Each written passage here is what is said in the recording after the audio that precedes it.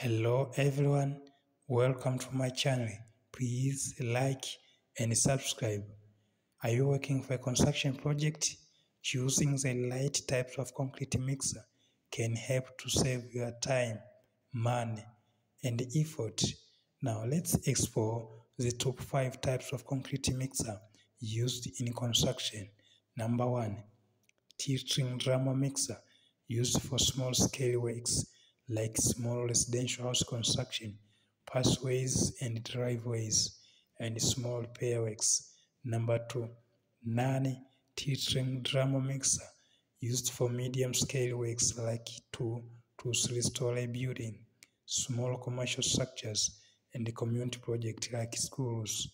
Number three, reversing drum mixer used for continuous mixing like mid-sized residential apartment small bridges, and parking areas. Number 4.